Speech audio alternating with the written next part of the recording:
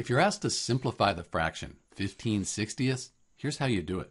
So we're trying to find another fraction that's the same. It's equivalent to 15 over 60, but it's just in lowest terms. So what we need to do is find a common multiple of both 15 and 60. If you know 15 goes into 60 four times, then you can do this. 15 divided by 1, that's 1. 60 divided by 15, that gives us 4. So when we simplify 15 over 60, we get 1 fourth. That's because our common factor, our greatest common multiple, is 15 for this fraction. Another way you could do it is divide 15 and 60 by 5. 15 divided by 5, that's 3. 60 divided by 5, that's 12. So now this fraction might be a little easier to work with because 3, if we divide 3 by 3, that's 1. 12 by 3, that's 4.